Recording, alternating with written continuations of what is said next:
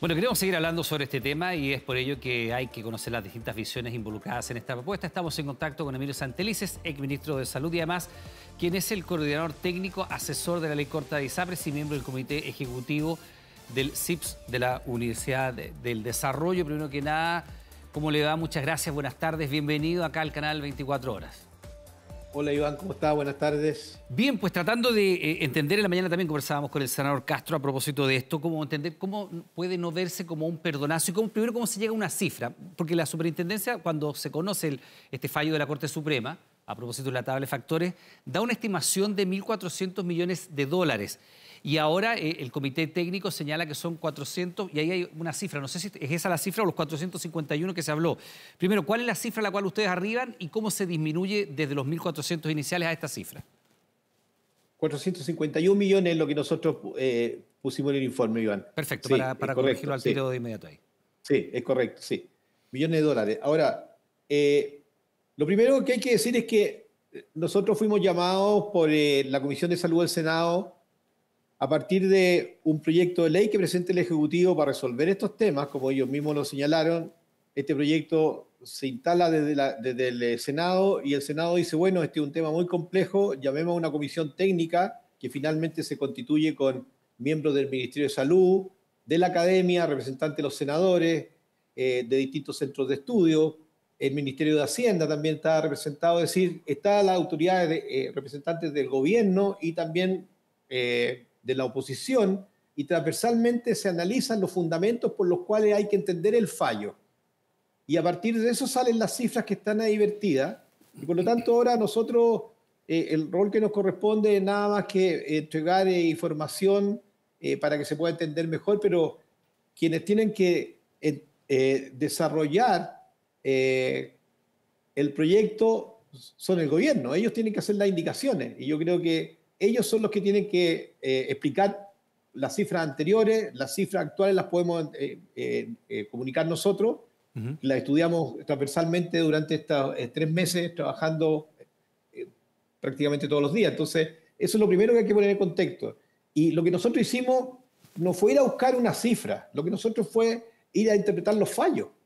Y los fallos son muy claros. Nosotros acá estamos en presencia de unos pagos que, eh, a decir del fallo, hay que devolver, y eso lo dice el informe, hay que devolver estos, eh, estos excesos, y, y, lo que también el fallo no dice es que cuánto, hay que cuánto es lo que hay que devolver. Y nosotros no, a, partir de eso hicimos los cálculos y llegamos a estas cifras que ya le he señalado. Ya, pero, detengámonos ahí, eh, eh, Emilio, si le parece, detengámonos ahí, porque primero hay una situación que es bastante excepcional, ¿no? Eh, hay tres fallos de la Corte Suprema sobre distintos aspectos del cobro de las ISAPRE. Este en lo particular tiene que ver con la tabla de factores, que la retrotrae, sabemos, y considera que hay cobros excesivos e injustos. Es bien inusual que para, para, que un fallo de la justicia se ejecute haya que hacer una comisión técnica en una comisión del Senado para llevar adelante un proyecto de ley que permita dar cumplimiento a un fallo judicial, que es lo primero que es una situación excepcional y frente a la cual otras industrias no han tenido esa, entre comillas, oportunidad. En otros casos, cuando hay un fallo, se aplica y la ley se cumple. Tal cual. En este caso se ha creado una comisión porque efectivamente se ha puesto en duda la continuidad de la industria de las ISAPRES en su conjunto, que han dicho estamos a punto de quebrar. Teniendo en cuenta esa excepcionalidad, hay una diferencia bastante importante entre la primera aproximación que da el, superintendente, y no lo dice una, sino que varias veces con convicción, dado que el fallo de la Corte Suprema no dice cuánto hay que pagar, sino, que señala que las ISAPRES están obligadas a tomar la tabla de factores, retrotraerla y devolver lo que han cobrado en exceso. No hay un monto en el fallo de la Corte. Pero desde esos 1.400 millones que estima la superintendencia, ustedes como comité técnico llegan a una cifra radicalmente inferior, un tercio más menos de lo que había dicho la superintendencia. ¿Cómo se explica esta diferencia? ¿Cuáles son los criterios que tomó en consideración la superintendencia cuando habla de 1.400 millones de dólares y los que consideran ustedes cuando llegan a 451 millones de dólares? Bueno, lo, primero, en relación a la, primera parte de la pregunta, efectivamente, y como usted bien lo señala, eh, el fallo deja al regulador con la prerrogativa de hacer los cálculos, pero él tampoco tiene los instrumentos para poder eh, hacer eh, y decir cuánto hay que pagar y por eso se termina haciendo de parte del gobierno esta ley. Eso es lo primero. Lo segundo, eh, nosotros tenemos que hacer una interpretación del fallo en función de eh, cómo se llega al número. Y para llegar al número hay que, hay que entender la lógica subyacente de los seguros, que significa, eh, a diferencia de los fallos cuando eran individuales, y no olvidemos que los fallos individuales, incluso cuando la persona quería devoluciones, las cortes en ese aspecto decían a usted le vamos a bajar el precio, pero no le vamos a devolver plata, porque ahí hay una lógica individual.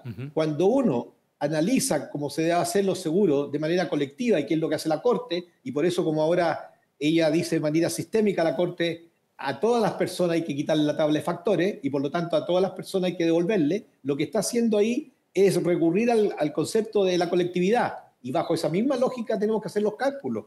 Y cuando uno hace la lógica de la colectividad, entonces eh, se mutualiza el riesgo, se llega a los números que estamos señalando.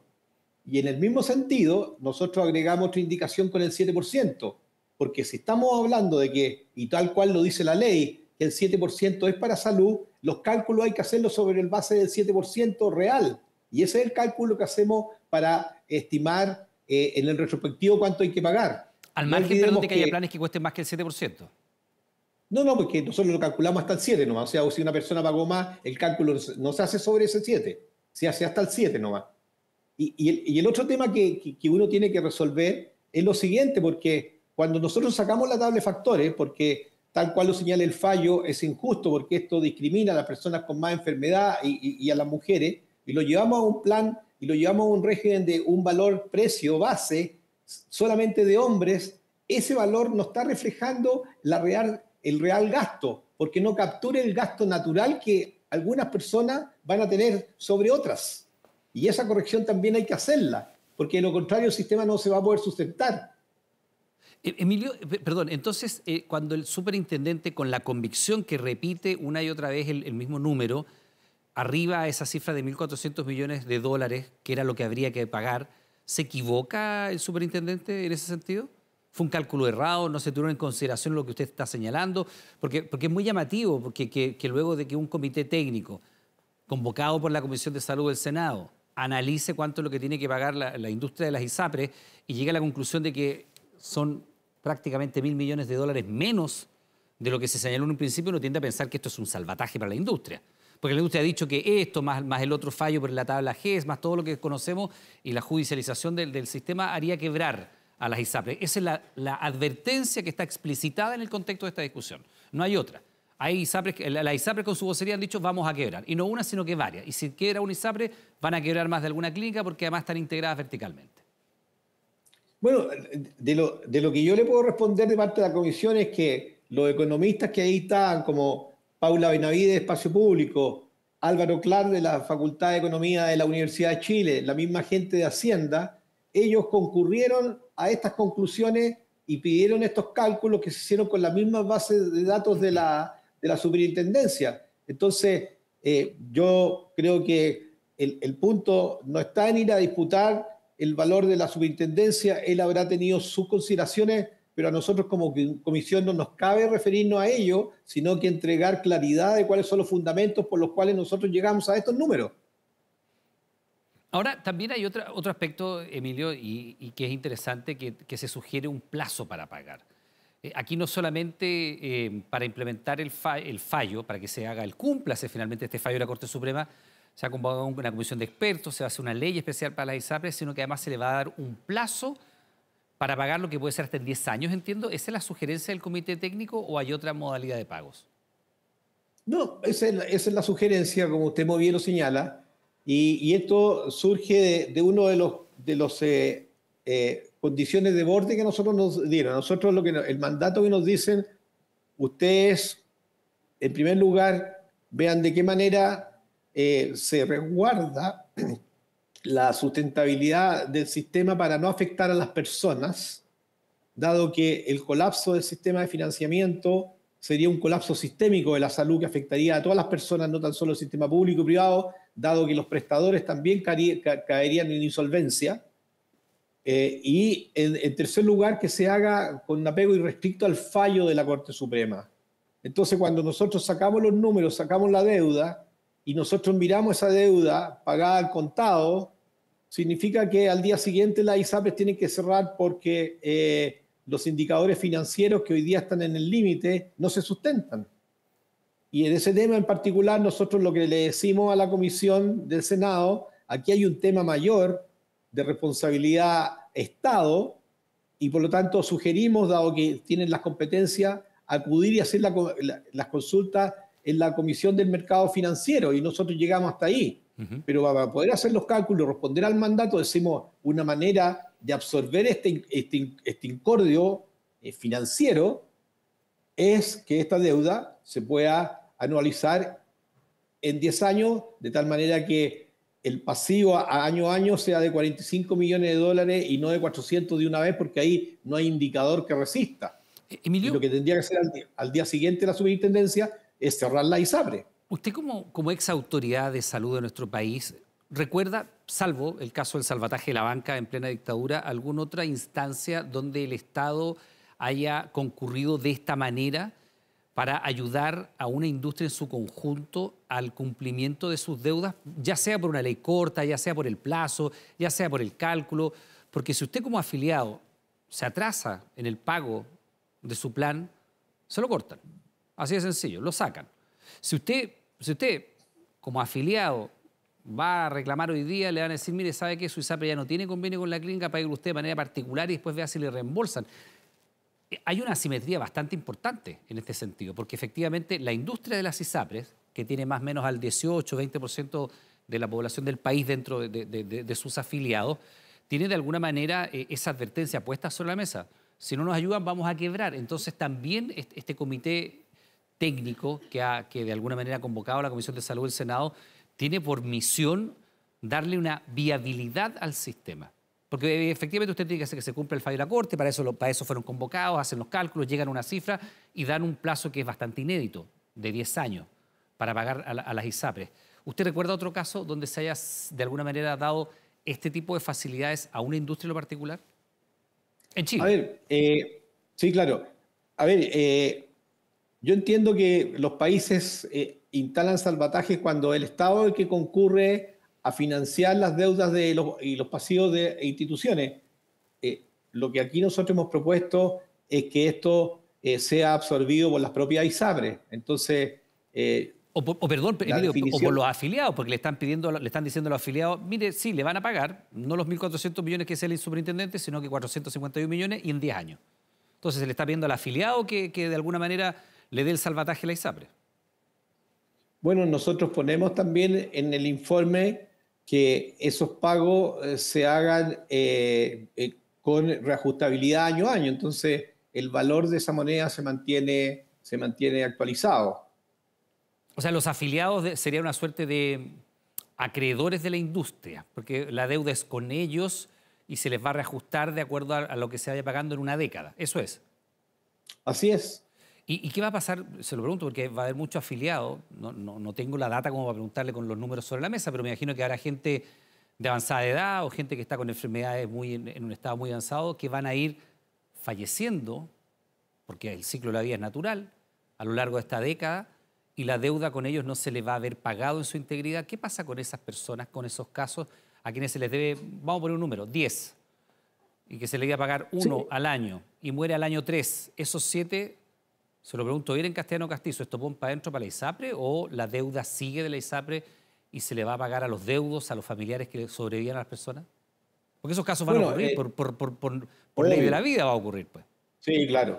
Eh, como usted muy bien señala, esa situación y pueden haber otras que ni siquiera nosotros la hemos analizado porque eh, el, el, ámbito y el mandato de la comisión se refería a lo que yo les señalaba, cómo protegemos a las personas eh, cómo le damos sustentabilidad al sistema y, tenemos la certeza jurídica. Y ahí vertimos este informe técnico transversal. Pero, pero no hicieron ese análisis para saber qué pasa, porque aquí hay una deuda. Hay una deuda y se le tiene que pagar un grupo de X de personas. Algunas de esas personas van a sobrevivir 10 años más, otras probablemente no. No lo sabemos, no lo sabe usted, no lo sé yo, si vamos a estar vivos mañana, quién sabe. Así es. Y, y, esa deuda expira cuando fallece el titular de la deuda? Es decir, cuando una. Ya, yo, supongamos que a mí me tienen que devolver 10 y muero mañana y, esos 10 que no me pagaron, ¿la ISAPRE libra de esa deuda o la deuda todavía existe de acuerdo al análisis técnico que hicieron ustedes? No, nosotros no entramos en esas materias como seguramente van a aparecer otras eh, y eso es eh, en materia de la ley y después de la reglamentación. Ahora, Emilio, eh, cuando ustedes hacen este análisis, ¿llegan a la convicción de que si no se le dan estos plazos a la ISAPRE, efectivamente el riesgo de quiebra es real? ¿O es como el cuento de Pedrito del Lobo que cada cierto tiempo vamos a quebrar, vamos a quebrar, hasta que finalmente quiebra A ver, a ver lo que nosotros hicimos en, el, en, el, primer periodo del análisis de estos tres meses fue hacer un diagnóstico de la industria.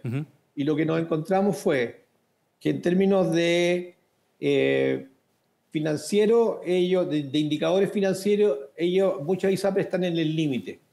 Eh, en los indicadores de solvencia, en, todos los indicadores. En segundo lugar, eh, que ellos en los últimos años han tenido pérdidas cuantiosas. Y, ¿En los últimos años cuánto? ¿Tres años, cuatro años, diez años? Porque han tenido 20 años de vacas gordas.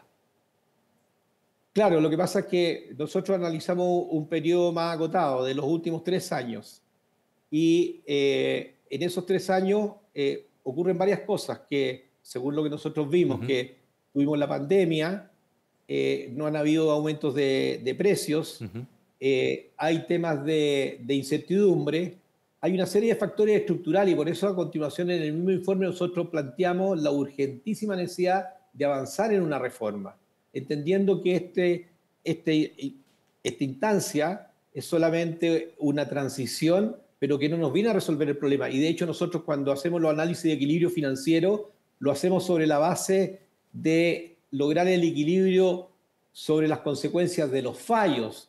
No buscamos ese equilibrio a partir de los temas de, de resabio, de eh, falencias y déficits financieros que ellos tienen y, eso queda ahí y que forma parte de lo que se tendrá que resolver en la industria.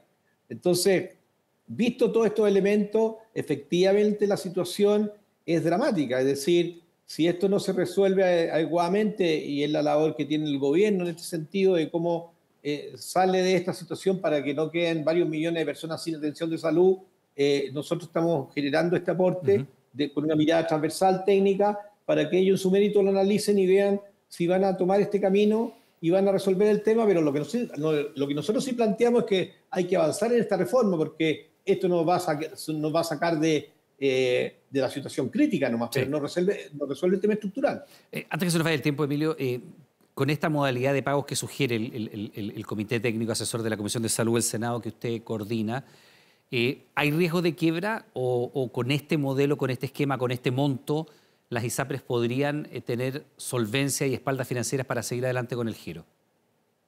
Eso va a depender de... Eh, nosotros también dijimos que los incrementos de precio base que se tienen que hacer eh, pueden instalarse, y lo proponemos de esa manera, con un límite máximo, entendiendo que a la mayor parte de las personas el precio no les va a aumentar. alguno igual les va a bajar, porque como desaparece la tabla de factores, les baja muchísimo, les va a bajar un poco menos, otro va a ser igual y a otro les va a subir un poco.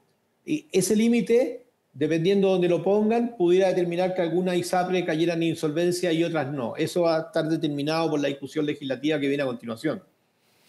Bien, pues Emilio Santelices, es exministro de Salud, coordinador técnico del Comité Técnico Asesor de la Comisión de Salud del Senado. Le queremos dar las gracias por estar junto a nosotros, por explicarnos los alcances de este informe que ustedes han eh, realizado y, por supuesto, de qué manera se debería implementar el pago de esta deuda de las ISAPRES luego del fallo de la Corte Suprema. Muchas gracias, que tenga una buena jornada. Gracias, Iván. Hasta luego.